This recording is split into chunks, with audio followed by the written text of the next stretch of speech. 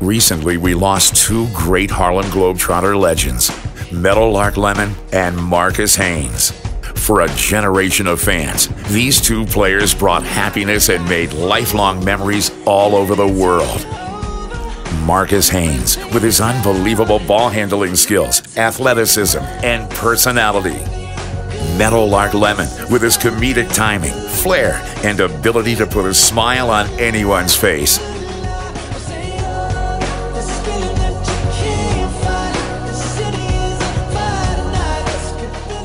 These two were great ambassadors of goodwill and stewards of the game.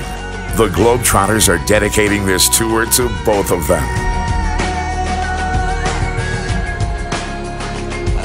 Thank you for all the memories, Marques and Meadowlark. You will truly be missed.